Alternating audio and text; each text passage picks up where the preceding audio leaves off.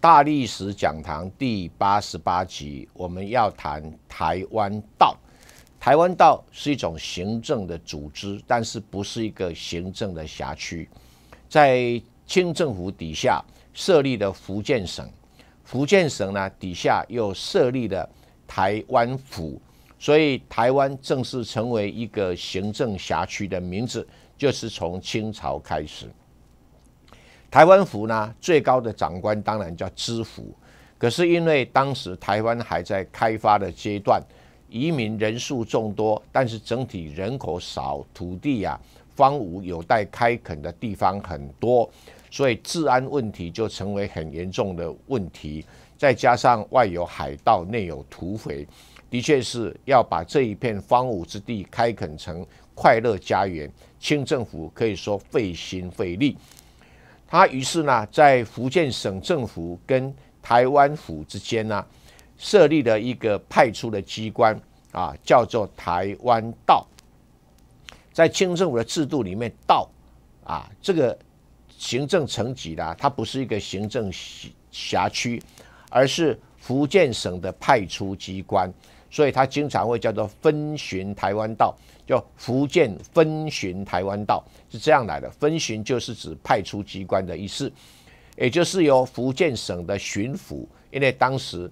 整个清朝的制度，巡抚就相当于省长，所以福建省的巡抚有分巡台湾道，所以整体叫福建分巡台湾道是这样来的。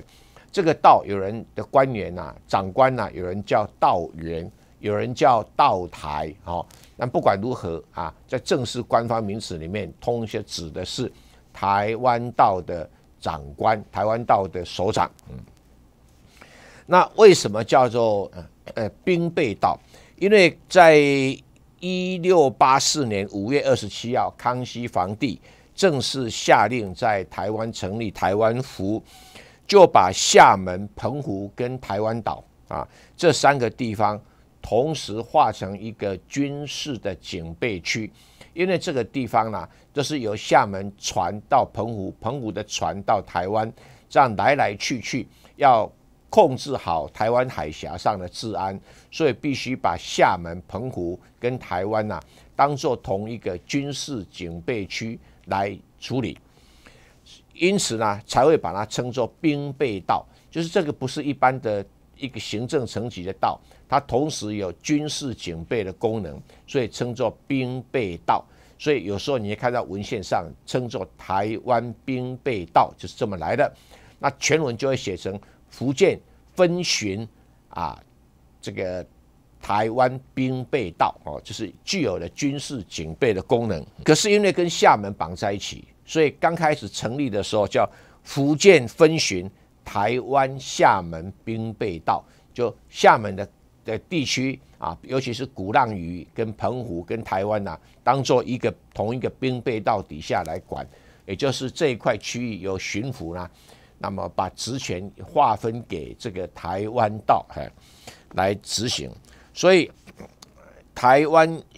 本来最早的时候在福建有一个叫做福建巡海道啊，福建巡海道就是。负责福建沿海的一个警备的守备的工作，叫福建巡海道，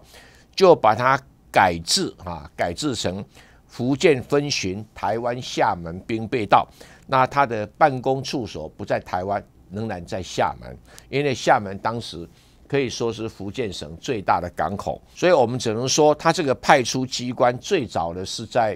啊厦门上班的。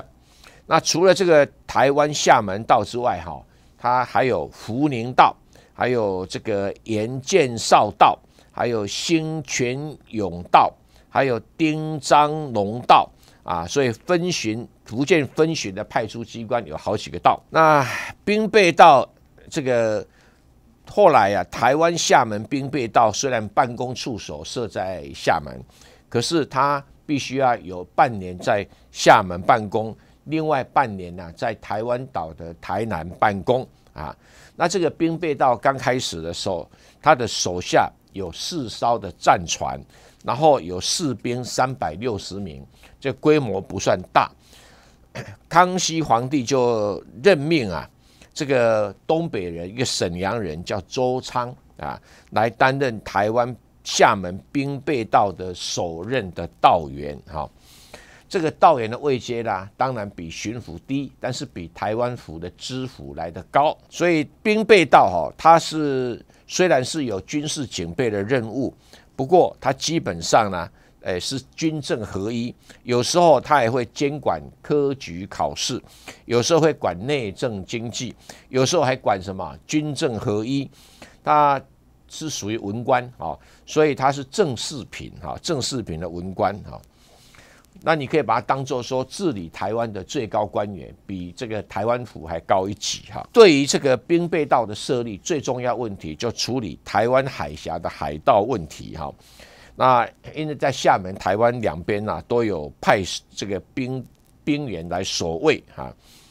啊，兵备道啊，因为它本身有四条船，所以它很方便的来往台海的两岸啊，所以因此呢，很多的职务就由他兼任来做哈，能兼任来做哈。比如说有时候他会兼一个职务叫暗查使衔哈，就是暗查使衔，福建分巡。台湾厦门兵备道为什么加个暗查使衔呢？就是它有了司法监察的功能啊，所以它有司法功能就会加个暗查使衔，就挂这个头衔。那有时候会有个布政使衔，布政使衔呢，就是说它有监管财政、租税等内政问题。那有时候会挂一个学政使衔，就是会担负着负责科举跟教育的工作。所以每一次你看到福建分巡台湾厦门兵备道，他经常会有暗查使衔挂在前面，学政使衔或者是诶这个诶布政使衔有挂上去的话，头衔看得很长，其实就是兵备道兼有什么样的职权。在台湾厦门兵备道，就是同时管台湾管厦门啊，总共有派了十七个道员。嗯，第一任刚才我们讲过是沈阳人周昌。第二任呢叫王孝忠啊，这个人很好玩，他整天啊崇信佛法啊，而且把那个诶郑成郑成功郑经死后呢，有关于郑克章跟郑克爽两个人争权力，然后在这个台南的这个董太夫人的住家叫北园别墅啊，北园的地方呢发动东宁政变，然后。杀害了郑克章啊，郑克爽就因此而接任延平郡王的位置。那他就把这个北原的地方啊改成现在台南的开元寺啊，因为他笃信佛教，所以就创办了开元寺，而且用的就是这个地方的房子啊。但是他虽然崇信佛法，后来因为贪污呢被革职啊。第三任的这个台湾道道员叫做高拱乾。他重修了台湾府志啊，那第四任呢叫做常光，叫做常光裕哈，他经常被称为常青天，因为他办事非常的公正廉明。第八任最有名的叫陈斌啊，陈斌呢，他是非常能干又非常清廉的一个台湾道的道员，他被康熙皇帝称叫赞誉怎么样？他说陈斌居官甚优，操守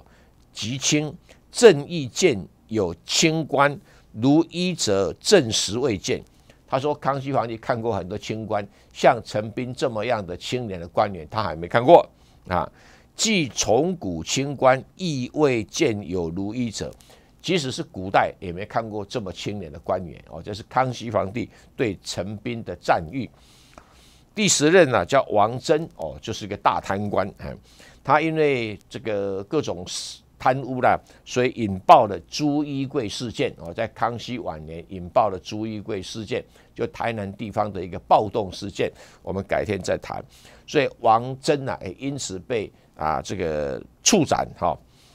第十一任的叫做梁文轩哈，他因为隐匿了这个朱衣柜事件哈，而且呢还率先啊在朱衣柜事件的时候没有防守台南城。还西卷啊，这个逃往澎湖，也被处斩，所以有两任的台湾道呢，被清朝的皇帝给处斩，就是康熙皇帝。第十七任呢，吴昌祚，啊，他在因为当时啊，在台湾中部发生了古中事件，就是原住民的一个暴动事件。我们会未来会谈，他是一个日月潭地方的少族的的头目，那被吴昌纣擒杀。到了一七二七年，哈，这个厦门跟台湾就不派同一个诶道员来管，也就厦门道归厦门道，台湾道归台湾道。所以这个时候 就设立叫什么？福建分巡台湾道啊，这个时候没有兵备道，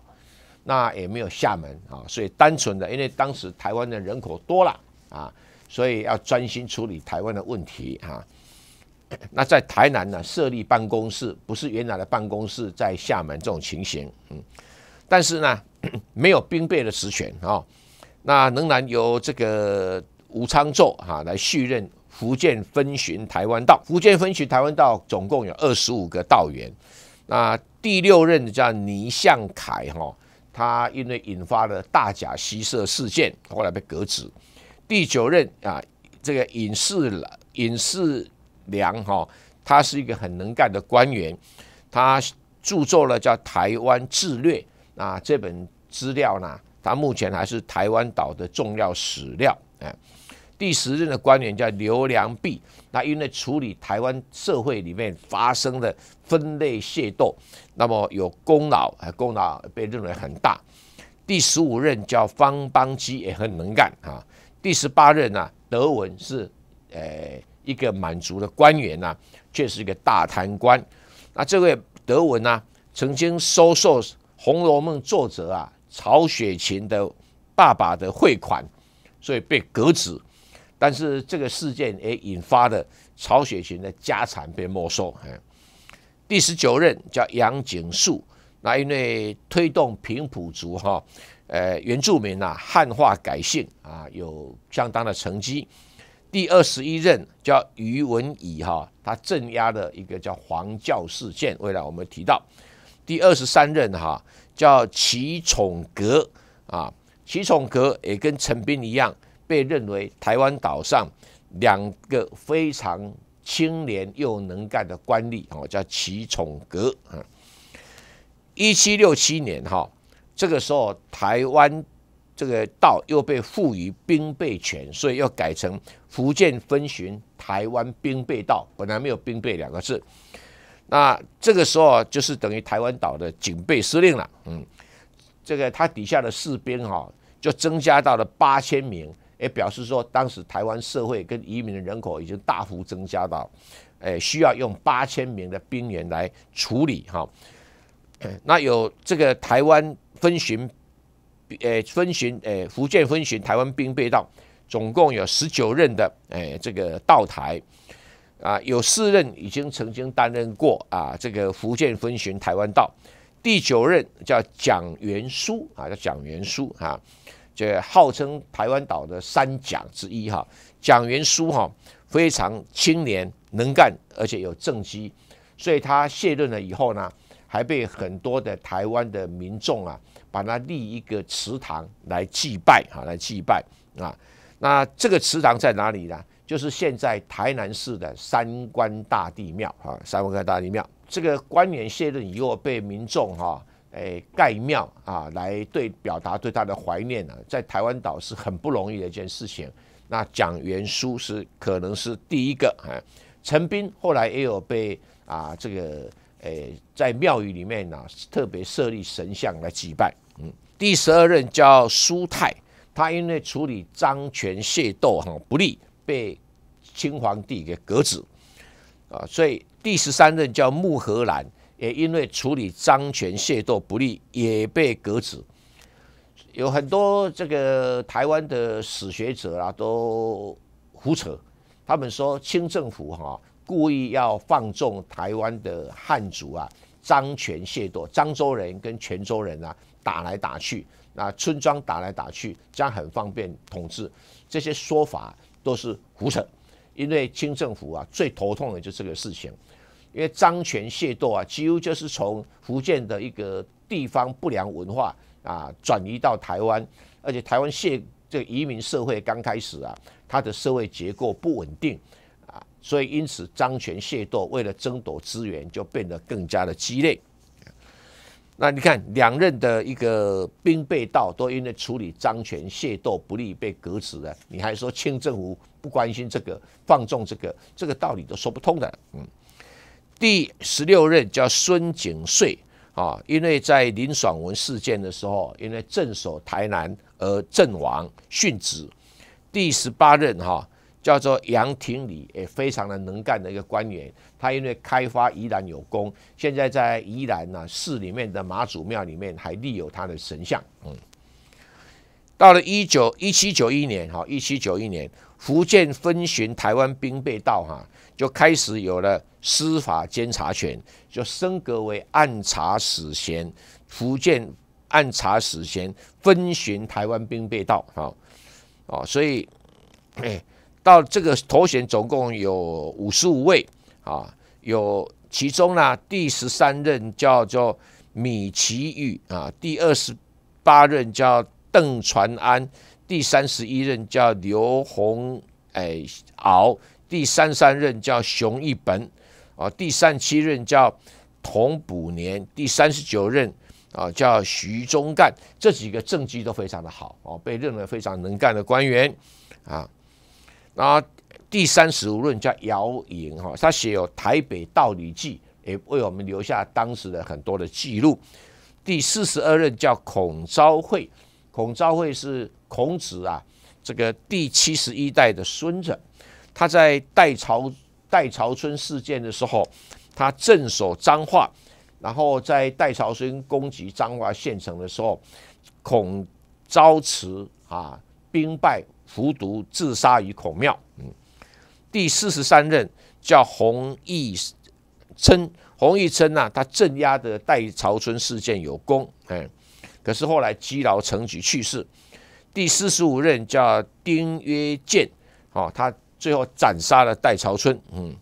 但是镇压手段太过残酷啊，被清朝政府啊啊这个处罚。然后这个第四十六任啊，吴大廷啊。有发生罗发号事件，就是有一部电视剧啊，叫《斯卡罗》里面演的事件，叫罗发号事件。第五十二任下线轮啊，就发生了牡丹社事件啊，就是日本呐派军队来到台湾来攻打原住民的事件。第五十五任叫。刘敖他着手兴建台北城，所以你们现在看到台北的什么北门、东门、小南门呐，这些城墙、城楼啊，就是刘敖时代所兴建的。但是因为他跟诶刘铭传不和哈，最后被贬到黑龙江啊而去世。这五十五位都是有暗查使衔分巡台湾兵备道。大体上，大部分都是又青年又能干的，所以有人说啊，清政府拍到了台湾的官员都贪污腐败，那个都是一些台湾史学者受到日本人影响。其实日本人拍到台湾的官员是人人都是贪官污吏，而且他贪官污吏啊，是一个系统性的贪污，直接从公家财产整批搬走了，他不一定是跟老百姓守红包的那一种贪污的形态，嗯。一八八五年哈，这个台湾岛哈，就是脱离福建省政府的管辖，单独建省，所以台湾府就升格为福建台湾省。注意到，台湾省只是我们简称的名字，它的官方的名字叫福建台湾省。那为什么这么奇怪加一个呢？这其实它同一时间呢，新疆也升格为省，但是当时新疆省的官方名字叫甘肃新疆省。啊，一样的道理啊，就是说，台湾即使建省了以后，还要福建财政的帮助；新疆建省了以后，也要甘肃财政的帮助。哎，所以按察使分巡台湾兵备道，哎哎，就成为这个福建台湾省新设巡抚啊，这个底下的道员啊，哎，而不再是凌驾于台湾府之上的这个官员。